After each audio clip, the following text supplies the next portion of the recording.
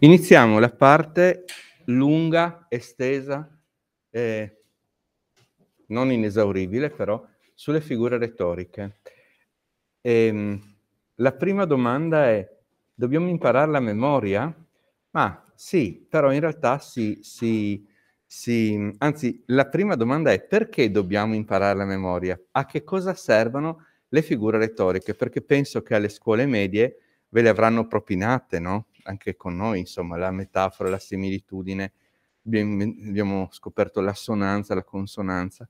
Le figure retoriche ehm, servono a dar forza al discorso, no? Quando noi, ci, quando noi parliamo, quando noi ci esprimiamo in forma orale o forma scritta, ci troviamo, forse anche in modo automatico, inconsapevo- inconsapevole, a ricorrere alle figure retoriche. Cioè, se io mi mettessi a dire questo è importante, questo è da sapere, questo dovete riconoscere, è chiaro che questo ripetuto è una figura retorica ed è un'anafora, cioè una ripetizione della stessa parola.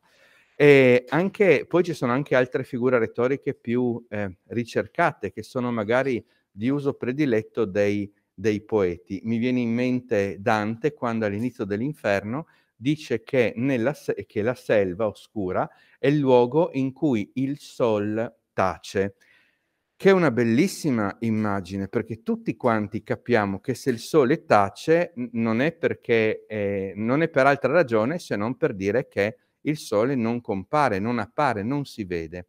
Però il sole ha a che fare con la vista e tace ha a che fare invece con l'udito si chiama sinestesia perché è una fusione tra due figure retoriche, tra due, sensi, tra due sensi differenti.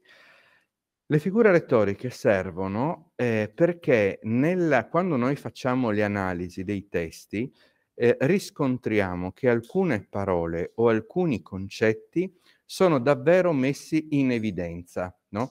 acquistano risalto, arrivano immediatamente a noi. E perché questo accade? Accade evidentemente perché l'uso accorto della parola determina questo effetto.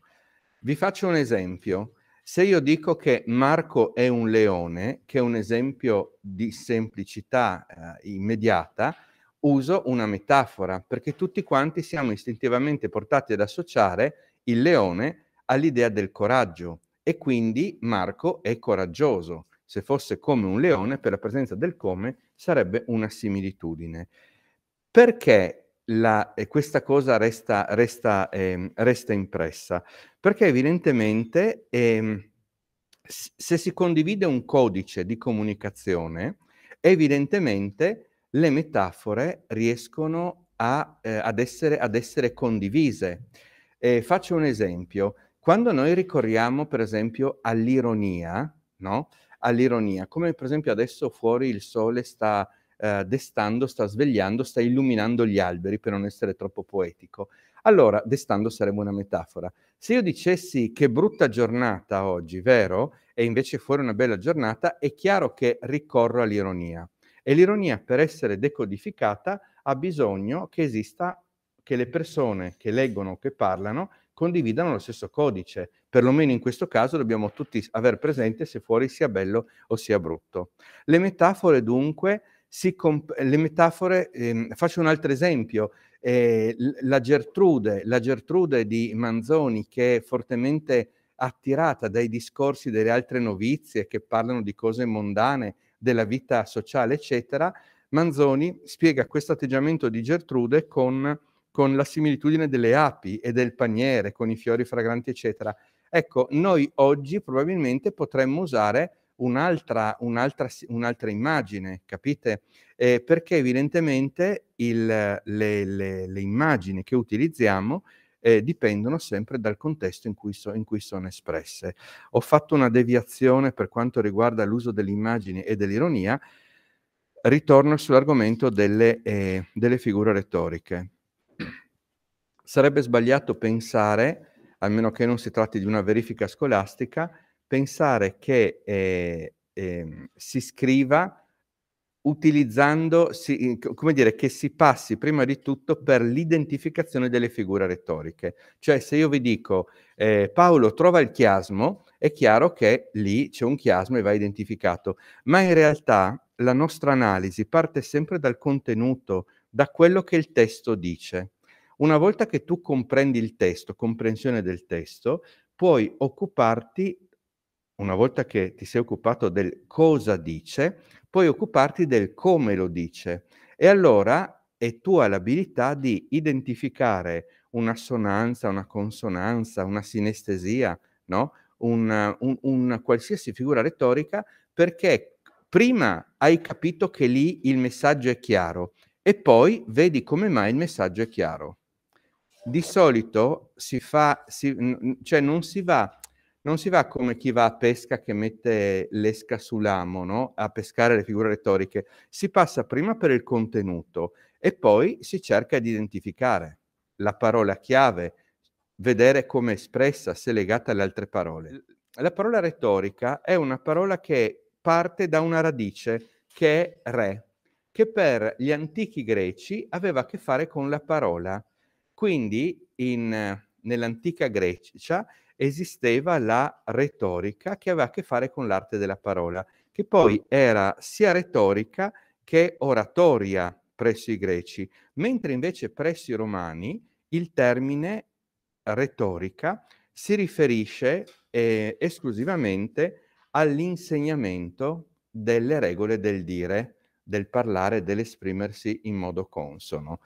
E retorica, re, la radice, è la disciplina per noi sul dizionario che insegna le regole del dire, ok? Retorica. E, ehm, fu molto in voga presso i greci, anche presso i romani, ma per, uma- per i romani in particolare perché la retorica è collegata all'esercizio della vita politica e quindi per essere in politica devi essere un bravo oratore. L'oratoria è l'esercizio della parola in pubblico. La retorica invece è la disciplina che ti insegna a parlare, è la fase, è la fase precedente. A che cosa punta? E poi noi oggi invece utilizziamo il termine retorico in accezione negativa, perché se io dico, se c'è uno in tv che parla tanto, uno dice ma quanto è retorico questo, dicendo quanto è prolisso, perché questo vale in italiano, per prolisso, per uno che non sa esprimersi in modo sintetico, ma che si dilunga molto. E invece, mhmm, e quindi ha un'accezione negativa, ma questo fa parte del, dei viaggi delle parole nei secoli, per cui il significato originario magari viene completamente rovesciato. Già abbiamo visto tanti casi. E, ehm, a che cosa punta eh, la retorica? A due aspetti fondamentali, la persuasione e l'abbellimento del discorso. La persuasione vuol dire il persuadere, il convincere, e l'abbellimento vuol dire la capacità di esprimersi in bella forma, in bella maniera. Se io dico casa e palla, a a a a ho un ho un'assonanza. Eh, è una figura retorica relativa al suono, ok? Se io dico Marco è un leone, questa non è una figura retorica relativa al suono, ma è relativa al significato, giusto? E faccio un altro esempio. Invece, se invece di dire il coraggio del leone, dico del leone il coraggio, facendo un'inversione, è una figura retorica relativa alla posizione delle parole. Noi distinguiamo tra figure del significato, che vuol dire che cosa la parola esprime, e figure del significante, che vuol dire che si riferisce all'involucro, alla parola. Marco è un leone, è una figura del significato, perché è sull'uso di leone per coraggioso che verte la figura retorica. Invece palla e casa che, che è un'assonanza, ha a che fare con l'involucro, con, della, con i suoni della parola. E poi terzo, ci sono le figure di posizione, perché se io metto, faccio un'inversione di una parola Se io raddoppio una parola, lì evidentemente lavoro sulla posizione nelle frasi. Le figure di suono, assonanze e consonanze rime le abbiamo viste, adesso le, le rincorriamo per, a pagina 46. L'assonanza schiena-vena, schiena-vera, scusa, la consonanza, tratto costretto, fa sempre riferimento a quanto segue dopo la, voca- la vocale accentata, rima, vocali e consonanti in comune, e poi bellissimo palazzeschi. Clof, clop, cloc, clofete, clopete, clochete, cloc, e giù nel cortile la povera fontana malata.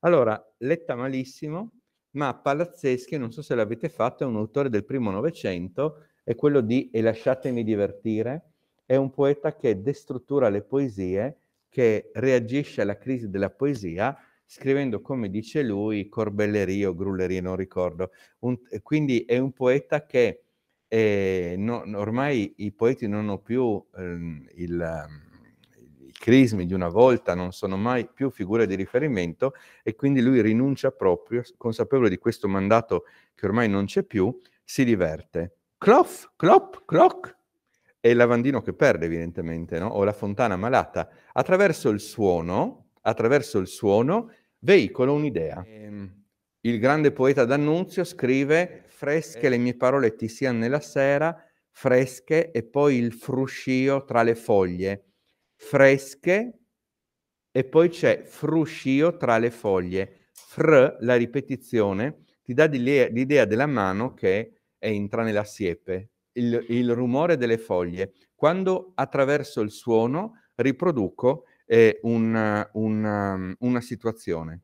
Nell'assiuolo di Pascoli ogni strofa si chiude con Q, che è il onomatopeico e riproduce il suono dell'assiuolo dell'uccello notturno a cui la poesia è, è, è dedicata, cioè che, di cui si parla nella poesia Q, ok?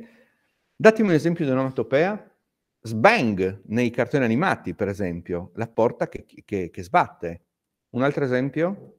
Bang, l'esplosione. Eh, la paronomasia, beh, onoma è, onoma è mm, nome. Paronomasia vuol dire l'accostamento di, eh, di parole che hanno eh, un suono identico ma eh, significato differente. Io vi faccio un esempio bellissimo di Dante, esta selva selvaggia. Tra selva e selvaggia non c'è alcuna affinità di significato, ma eh, selva e selvaggia hanno la stessa, la, lo stesso gruppo consonantico e vocalico, si tratta di una paronomasia. Le figure di posizione sono, per esempio, sono quelle legate alla ripetizione, per esempio, all'interno di una frase. Allora in Pascoli si dice e mi dicono dormi, mi cantano dormi, sussurrano dormi, bisbigliano dormi. Sulla porta dell'inferno c'è scritto per me si va nella città dolente, per me si va nell'eterno dolore, per me si va, per me si va è un'anafora. Ma l'anafora vuol dire che all'inizio, ment- tipo per me si va, per me si va, mentre l'epifora è alla fine. I versi qui di, eh, sempre di Dante Alighieri, finiscono con Cristo e questo Cristo non è un'anafora ma è un'epifora, epi vuol dire alla fine. Poi c'è l'anastrofe, amata dai poeti dei tempi lontani, e gli occhi porto per fuggire intenti ove vestigio man l'arena stampi. E gli occhi porto va letta come porto gli occhi. Allora qui c'è il discorso della parafrasi, che è un altro aspetto interessante su cui lavoreremo a breve. La parafrasi vuol dire che noi il testo del poeta dobbiamo renderlo accessibile, sostituendo le parole difficili e eh, lavorando sugli spostamenti. Gli occhi porto, se dovessi scriverlo in prosa, sarebbe porto gli occhi. L'iperbato, l'iperbato è un salto, è, è, la figura retorica su cui si conclude il testo di eh, Petrarca e i lumi bei che mirar soglio spenti, i lumi spenti, devo fare un salto perché iperbato ha a che fare con il greco e iper vuol dire oltre e faccio un salto. Ed è una figura retorica differente dall'iperbole.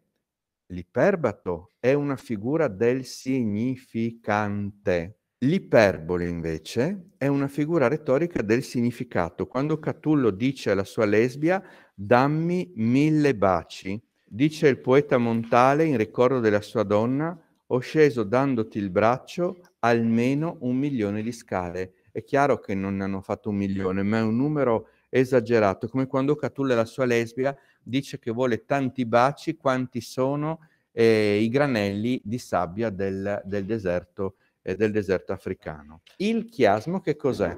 Le donne, i cavalieri, le armi, gli amori. È il celeberrimo esordio dell'Orlando Furioso di Ariosto. Allora, faccio, dovete far così, mettere due sopra e due sotto. Se io metto le donne e i cavalieri sopra e sotto le armi e gli amori e collego i simili, le donne si collega ai agli amori e i cavalieri alle armi, ottengo una chi greca, quella che per noi è una X, per gli antichi greci era una lettera che si chiamava chi. Allora è un chiasmo. Altrimenti, se gli stessi termini fossero disposti le donne e i cavalieri, amori e armi, in quel caso avremmo un parallelismo perché unendo i simili otteniamo due parallele. Chiasmo e parallelismo operano su quattro termini. Sotto i primi due vanno disposti altri due e a coppie, no? E poi tu unisci i simili. Poi c'è l'accumulazione quando si fa un elenco di molte parole, il climax. Si dovrebbe dire la climax, ma io ormai dico il climax perché climax, climax in greco vuol dire scala. La scala che si sale oppure che si scende. Allora, quante volte ve l'avrò detto? 100, 1000, 10.000 è un climax ascendente perché si sale. E altrimenti se dico, guarda, cioè, prima la gente si vuole bene 100, dopo 50 e dopo 10 è un climax discendente, ok? Perché si scende. Quindi bisogna sapere dovrebbe dirsi la climax, ma io ormai ho sempre detto il climax e quindi tanti dicono anche il climax, non sono l'unico, e, e quindi è ascendente o discendente.